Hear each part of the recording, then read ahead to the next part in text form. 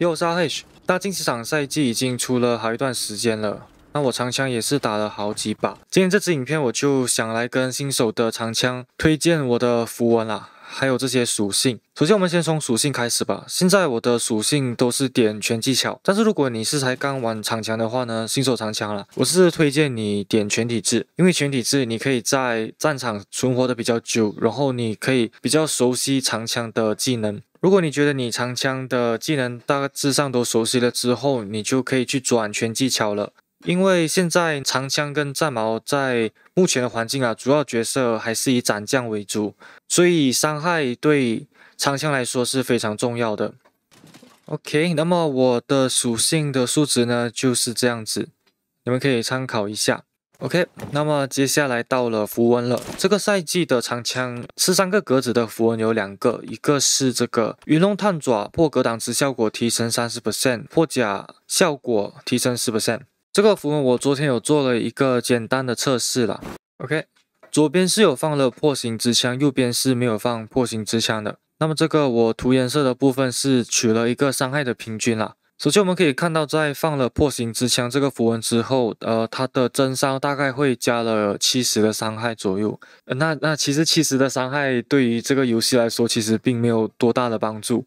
主要这个伤害的来源是来自于后面这一段破甲效果提升十 percent。在我的测试，伤害增加是七点零二 percent 啊，那么也接近十 percent。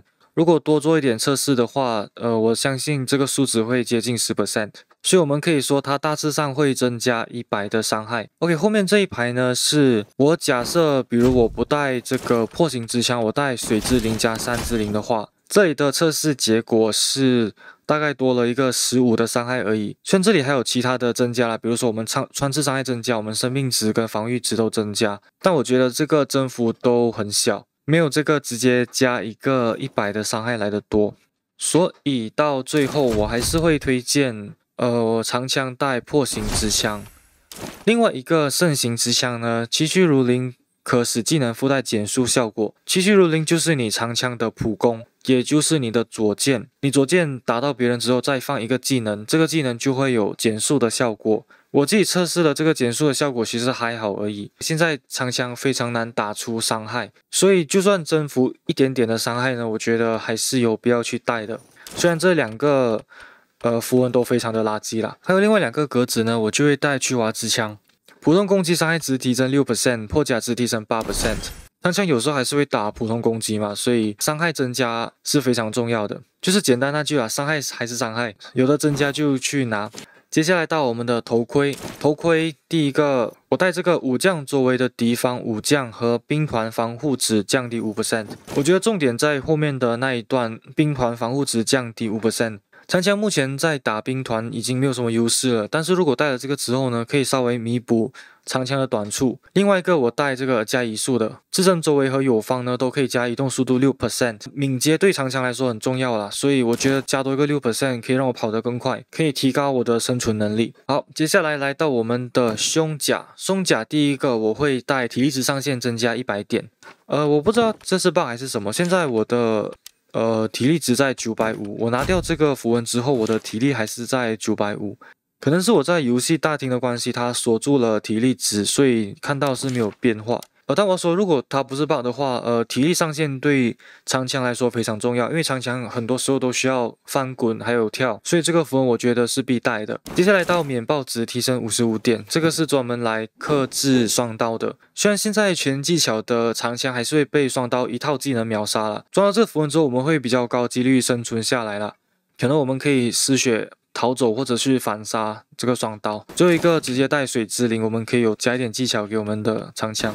OK，好，来到了靴子，靴子的话我带战陀龟形，这个符文可以让我们在移动的时候治疗。有一个符文跟龟形很像的，就是汉体，这个汉体它也是可以移动中使用，然后可以恢复血量嘛，但是它是四个格子，而且它在这一次的更新被削弱了一点治疗量。我觉得这个符文。虽然很强，它的战斗能力很强，但是我觉得不值得去带。如果我们带龟形的话，我们还可以带一个啃食，破甲值提升两 percent，再加上呃技巧提升五点。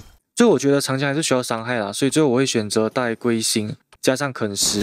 最后的部位来到护手，护手我会带狂熊嗜血，击杀武将后伤害值提升三 percent。最多叠加四层，死亡后清除这个符文啊，你不要以为它很难去叠加四层，你从零到一的时候会非常难，但是你从一到二、二到三、三到四呢，会越来越简单的去叠加这个层数，原因就是因为你的伤害越来越高了嘛，所以这个东西它是越来越容易叠的。但前面我有说这影片是针对新手的嘛，如果你新手你觉得你斩将能力没有那么强的话，我会建议你去带这个不倒。你击杀小兵后，你提升防护值，然后再带一个水之灵，OK。但是呃，我觉得你要打出伤害，最好还是带嗜血啊。呃，在最后我再多加一些东西给长枪的新手吧。这里有两个技巧，我觉得这个赛季你们需要掌握的。首先第一个就是 Q 了之后跳。